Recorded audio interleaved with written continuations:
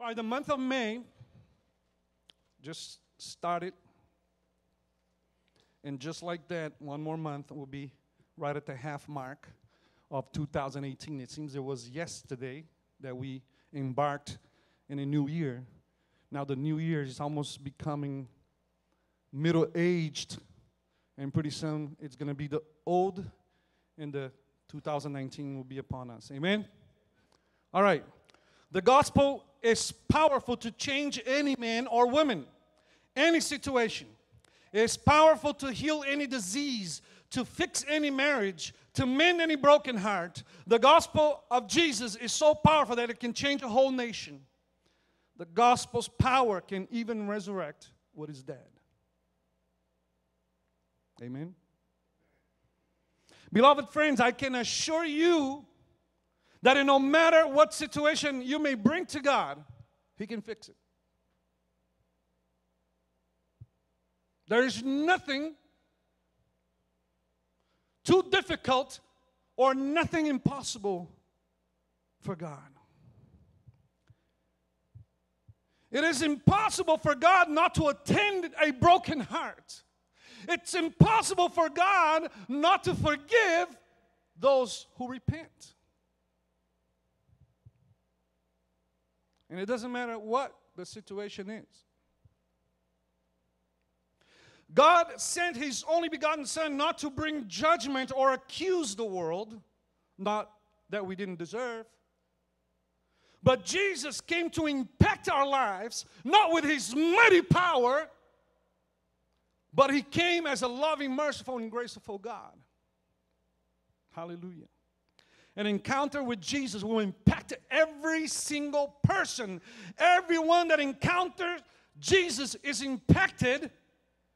And I'm not talking about religion, I'm talking about a real encounter with Him. The only difference from one person to another is how they decide to live after this encounter. But every single one that encounters Jesus is impacted, powerfully impacted. There is nobody, I mean, nobody that comes in front of Jesus, that encounters Jesus, that is not impacted. There is, this is impossible. Well, you might say, well, but that person, and so and so, and this and that, uh, heard. I'm not talking again about religion. And it all depends how the person sees it.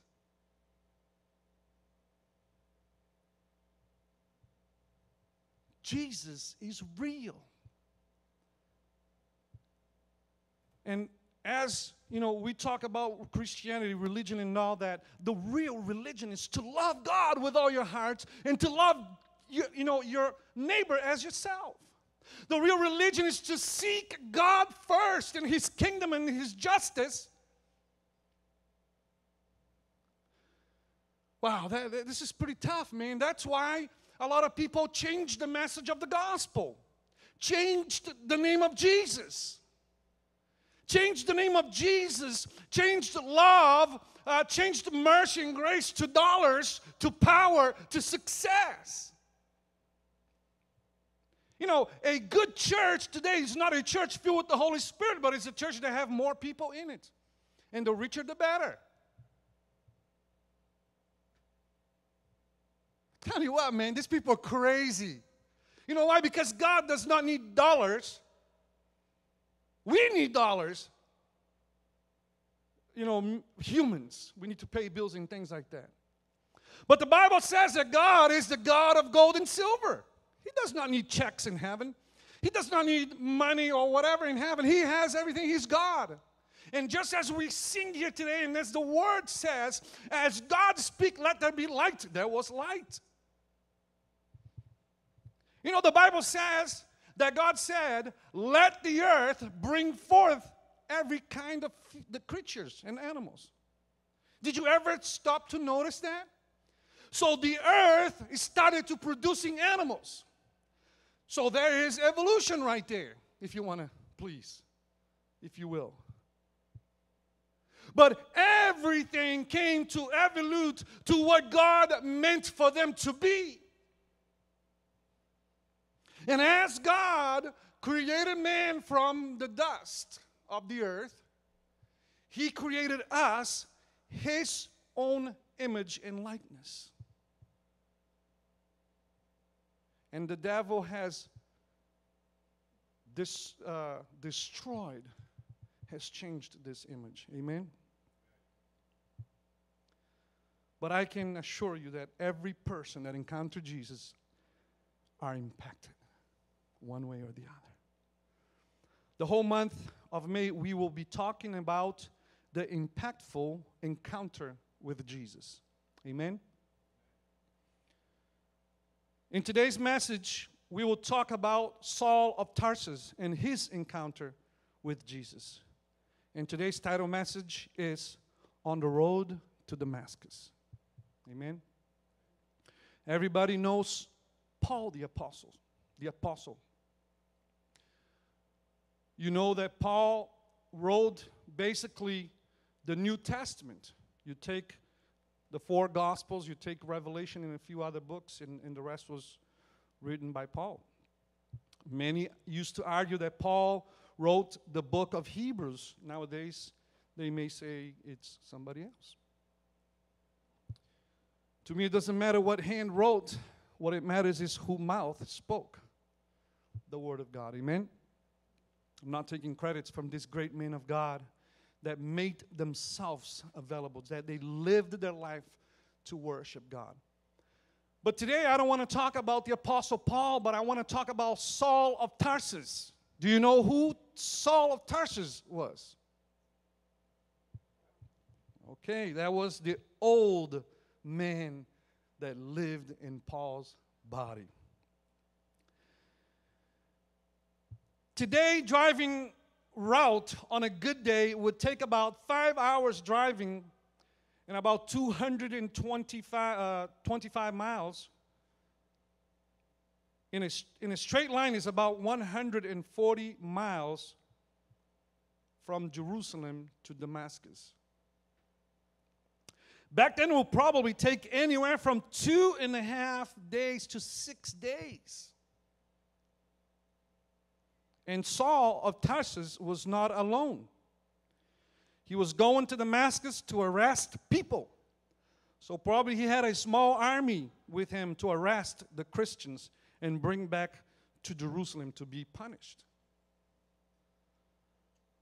I don't know what they had, if it was horses from Egypt, if they had camels, donkeys. He was prepared. Who was Paul of Tarsus? Saul of Tarsus was a Pharisee, a student of Gamaliel, a very important scholar and teacher of the Jewish law, a very respected man. Saul was a Roman citizen, but being a Hebrew of Hebrew, born of the tribe of Benjamin, he was born between 5 BC to 5 AD, most likely near 5 AD.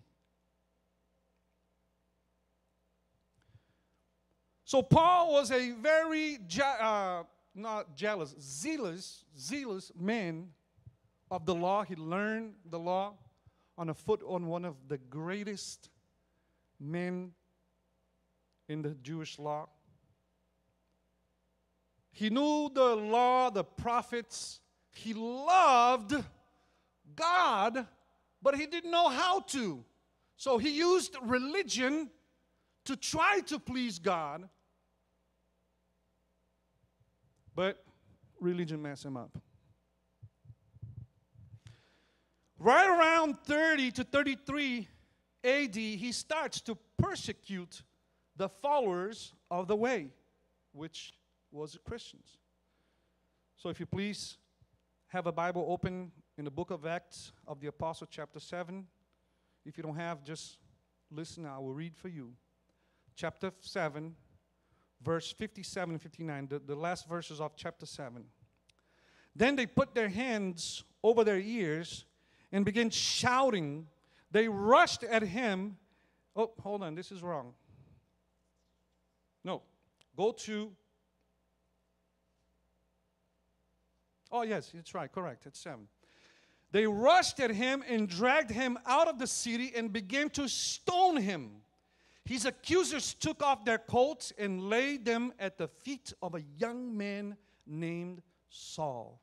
As they stoned him, Stephen prayed, Lord Jesus, receive my spirit. He fell to his knees, shouting, Lord, don't charge them with this sin. And with that, he died. So they were persecuting the Christians, and a young Saul, in all his might, was standing there. He probably was part of that tribunal where they accused the young uh, Stephen or Stephen to stone. And as they were stoning, they put their coats on the feet of the mighty Saul, and he, in agreement, never stopped them. Now turn a few pages to chapter 9, verse 1 and 2. Meanwhile, Saul was uttering threats with every breath and was eager to kill. That's what the word says. Not to imprison, but to kill the Lord's followers. So he went to the high priest. He requested letters addressed to the synagogues in Damascus, asking for their cooperation in the arrest of any followers of the way he found there. He wanted to bring them, both men and women, back to Jerusalem in chains. So this is this is Saul of Tarsus. So here we see a very religious man, a violent man. He didn't care if it was men or women. If they were of the way,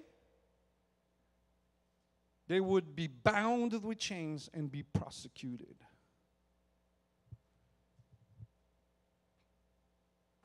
Are you of the way?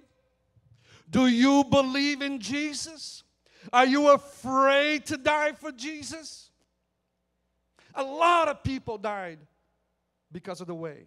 Some crucified, others lost their heads, and some killed by hungry lions. What is our perse- persecution today? Your coworker doesn't like you? Oh, poor little thing. Who is prosecuting you? It is an outside threat. Or is it your mind tricking you? Is it the devil lying to you saying that you're a loser? Because the Bible says you are more than a conqueror.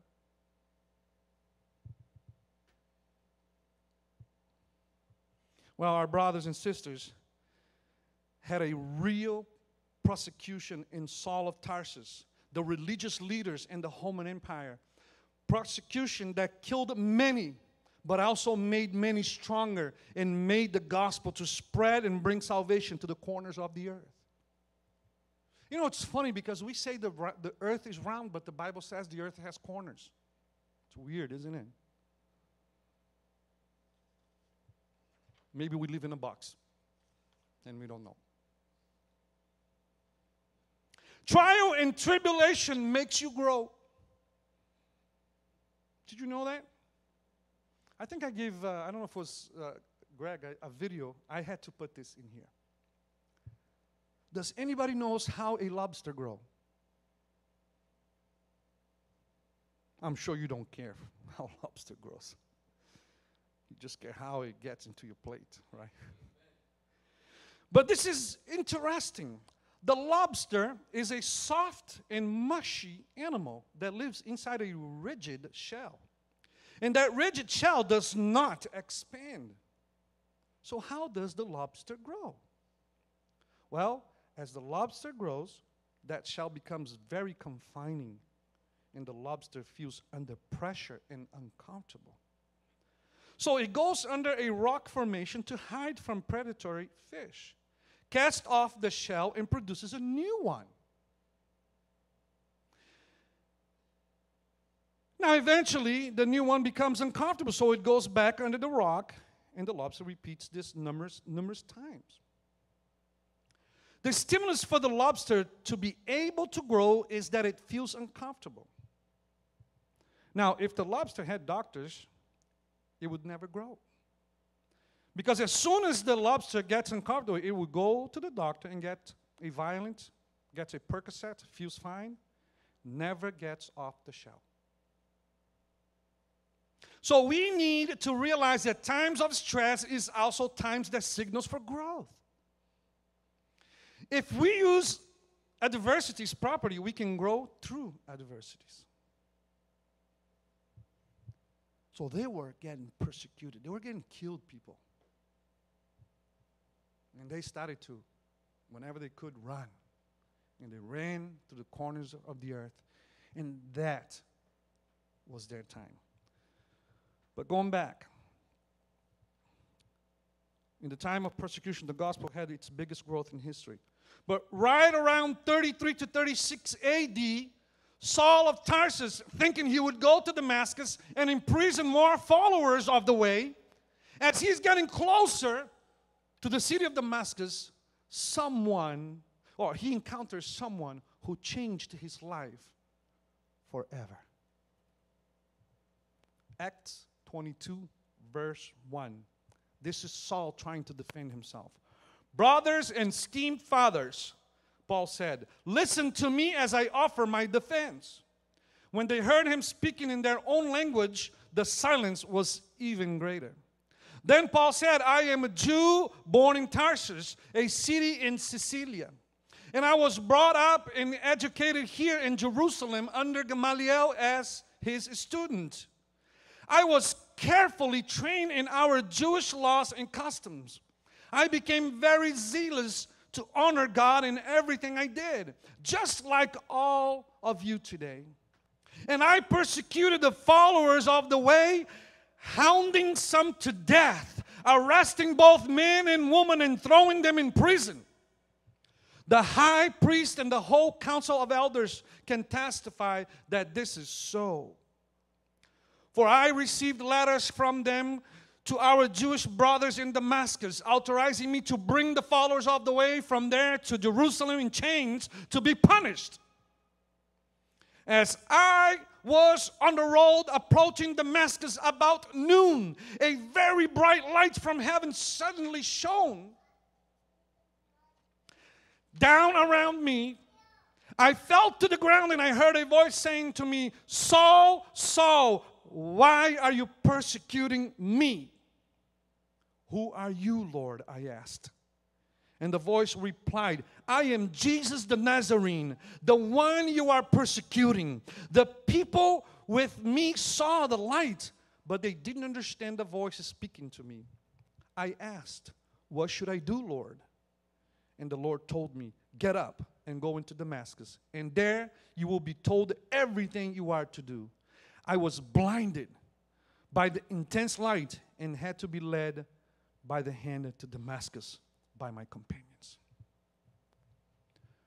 So, right around noon, Jesus encounters Paul, or Paul encounters Jesus. And his life was changed from persecution to persecuted.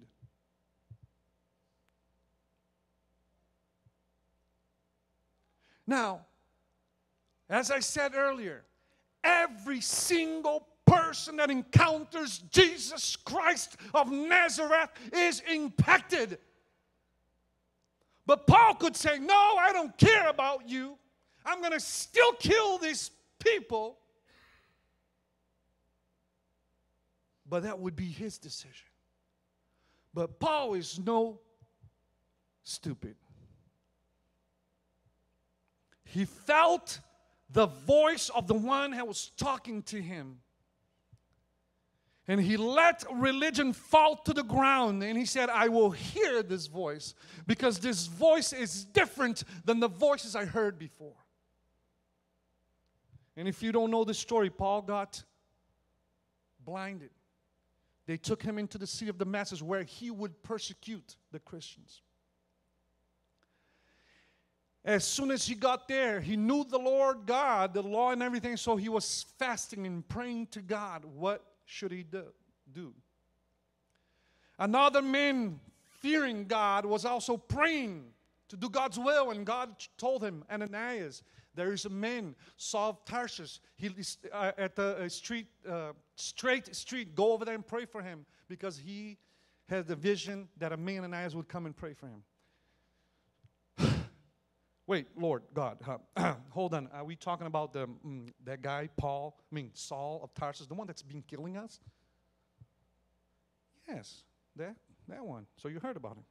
Go over there and pray for him. Um, I don't know, God. I don't think he, he wants to kill us. You know, like kill us. And God said, No, he's not about to do that because he's an instrument in my hand and he will see how much he must suffer for this ministry. I don't want to go any further. I just wanted to tell you who Paul was because you know who he is now. You have heard about him, you have heard his letters, you have heard about his teachings. So I want to end my message just the way I started. The gospel is powerful to change any man or woman, any situation. Is powerful to heal any disease, to fix any marriage, to mend any broken heart. The gospel of Jesus is so powerful that it can change a whole nation. The gospel's power can even resurrect what is dead. I want to invite you to, to stand up. And I want to be very short in my message today.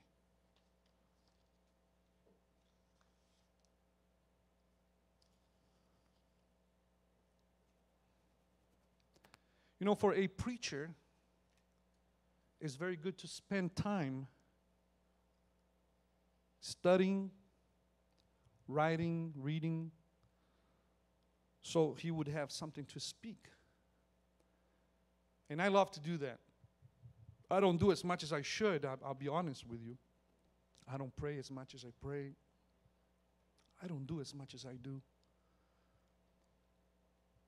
But I know God, and, and I didn't even have to read this, what I prepared last night, because God already said here. He used Pastor Nat to say, I'm doing something new. What have we preached in this church? Believe, trust God, love God with all your heart. Do not be afraid. You know, when Moses died, God called Joshua. He said, Be encouraged. I am with you just as I was with Moses.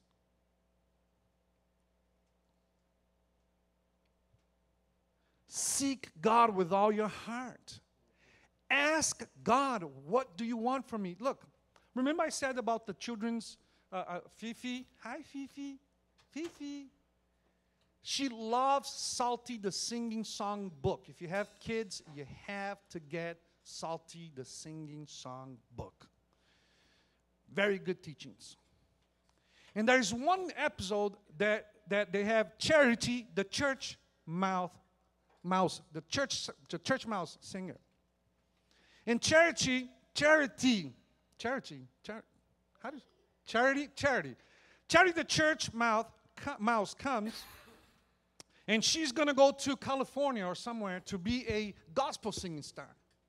And she's all excited because she wants to be famous and have servants. And that day they're studying Matthew where it says if you want to be great in God's kingdom, you got to be a servant of all. Right, Fifi? If you want to be great in God's kingdom, you got to be a servant of all. All, all, all.